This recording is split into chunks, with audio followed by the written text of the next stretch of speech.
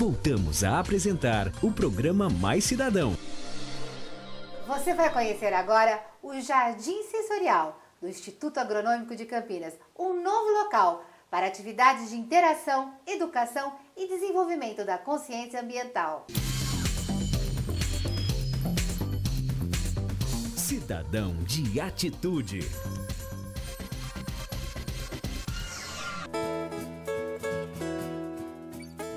Localizado na Fazenda Santa Elisa do Instituto Agronômico de Campinas, o Jardim Sensorial é um espaço para pessoas com ou sem deficiência, onde podem tocar, sentir e cheirar cerca de 30 espécies de plantas ornamentais, aromáticas e medicinais. Os visitantes de hoje são da Pai de Valinhos. Vocês vieram conhecer hoje um jardim sensorial. O que é o jardim sensorial? É um, é um local onde a gente vai aguçar os nossos sentidos. O tato, através das mãos e dos pés, o olfato, né, através do nariz, o paladar e a audição. Tem alguns elementos também que a gente vai ouvir uns barulhos diferentes lá no decorrer do jardim.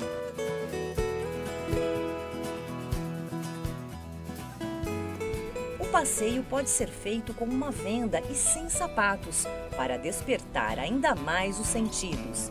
E todo o percurso é acompanhado pelos monitores.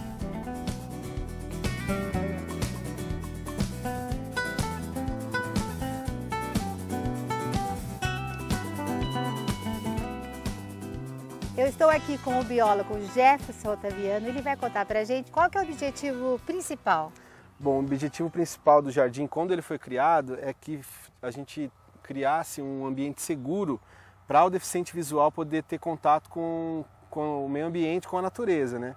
Porque é difícil a gente levar um deficiente visual para conhecer uma trilha, por conta do, dos perigos que pode ter, e aqui é um local seguro onde ele vai estar sempre acompanhado por um monitor é, para conhecer as plantas e os aspectos da natureza.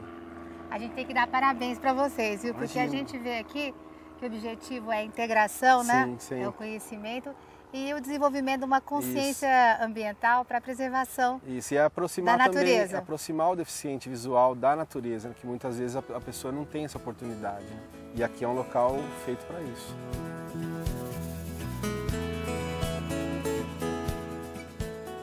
Quantas espécies são cultivadas aqui no Jardim Sensorial? No trajeto no jardim para o visitante, a gente coloca 20 espécies. Só que no cultivo, nas estufas, a gente tem quase 35 espécies, por aí. E em cada vaso, de cada espécie, a gente tem três indivíduos para poder repor essas plantas, porque o visitante ele pega, arranca um pedacinho, né, macera para sentir o cheiro. Então a gente sempre tem na, no viveiro uma, um vaso da mesma espécie para repor para o próximo visitante encontrar uma planta bonita, viçosa para poder tocar. Eu para mim foi surpresa também, porque eu não conhecia o patchouli. É, é uma planta que é usada, usada há muito tempo, né, em perfumaria, assim, é uma das minhas prediletas. Assim. É predileta. é muito agradável, né? O aroma é muito agradável. E tem outra lavanda também, também né? Também, tem, tem, a gente tem duas espécies de lavandas aqui. Na placa de identificação, a gente costuma usar o nome popular, que é esses nomes que a gente tem a regionalidade de cada um, né? Seguido do nome científico, que é usado mundialmente e nos dá a certeza de ser aquela planta. É, professor Jefferson, é uma oportunidade maravilhosa, porque Sim. muitas crianças não conhecem, né? Nenhum é, tipo. Exatamente. Uh, o que elas assimilam muito assim é o cheiro. Algumas a gente pede para ela experimentar, por exemplo, a menta. A criançada só conhece uma menta na bala de menta, um orégano quando come uma pizza, né? e assim por diante. Então a pessoa tem a oportunidade de conhecer como que é a planta aqui na natureza, né, em natura, e não quando só comprando no supermercado ou quando sente um aroma num perfume ou num sabonete, num shampoo. Então aqui a gente mostra a planta que é utilizada para essa finalidade.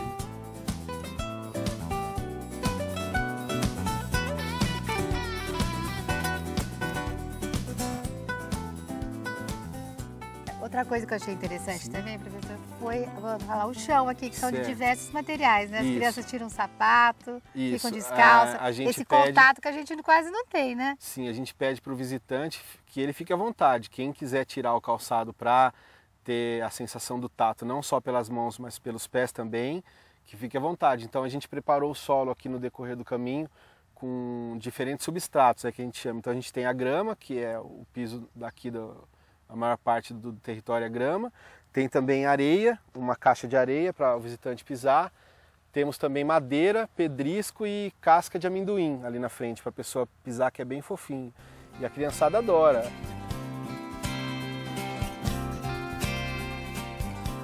A gente também colocou alguns uns elementos para mexer assim com os ouvidos das pessoas, com, né? Com a audição, Isso, com a audição né? das pessoas.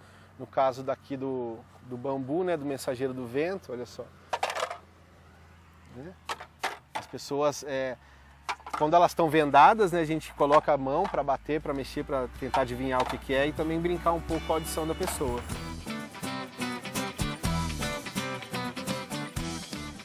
A gente tem um agendamento prévio, faz o um contato aqui com o Jardim Botânico. A gente atende toda terça e quarta-feira aqui no Jardim Sensorial, né? Pra aberto visita... para o público para o público geral. geral. Isso, para o público geral, não só para deficiente visual. Ou escolas, né? Escola, instituição, família que quer conhecer, para todo o público de Campinas e região.